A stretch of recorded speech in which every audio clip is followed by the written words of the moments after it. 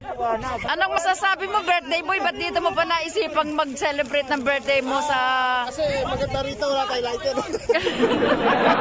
Ayan po mga costume sa mga dagat.